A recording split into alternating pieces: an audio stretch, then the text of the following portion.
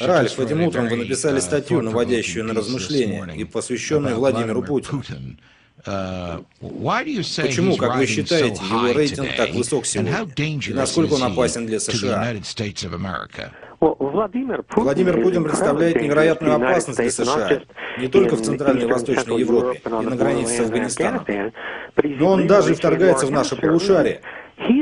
Он заключил сделку по продаже оружия с Удучависом в Венесуэле стоимостью в 9 миллиардов долларов. По стандартам Южной Америки комплект наступательного оружия на 9 миллиардов долларов – просто огромная сумма. Что беспокоит меня в Путине? Скажу честно, знаете, мне он совсем не нравится, но я уверен в том, что он блестяще справляется с работой. Его конкретные дела показывают, что у него очень четкое представление. Он создает очень-очень-очень зловещий вариант империи зла Рональда Рейгана.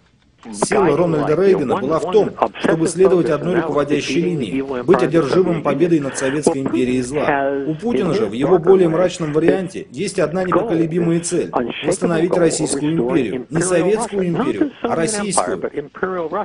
Вернуть в свой состав Украину, снова получить контроль над Центральной Азией. И за последние месяцы, пока мы дурачились и возились в грязи, Путин ухитрился сделать свою марионетку украинским президентом, заключить сделку на продажу оружия